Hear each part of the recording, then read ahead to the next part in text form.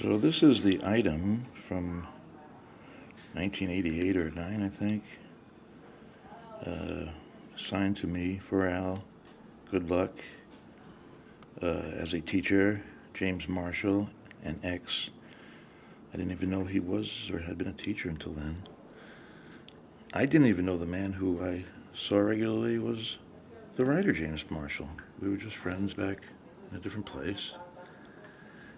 And then when I was going for my certification, he appeared at the classroom, and there was recognition between the two of us, and we sort of knew where we knew each other from.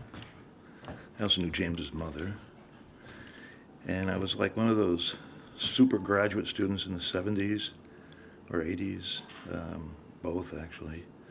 So I knew Francelia Butler pretty well, and it was her intention, uh, well, what she said is, this is worth money, okay? When she gave it to me, she said, this is worth money when she let me have it.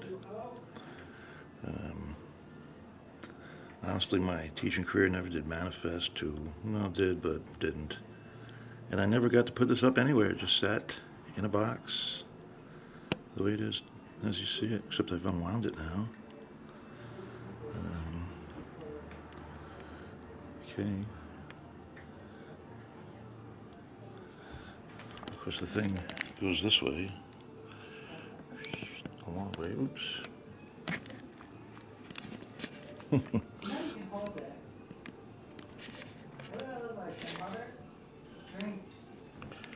so it goes. This this goes from here.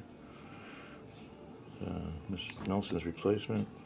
And these folks. Cigarette smoking chicken. Like I said, I really don't know the characters as well as I could have. I had a career. It's not on a towel, it's on a transparency.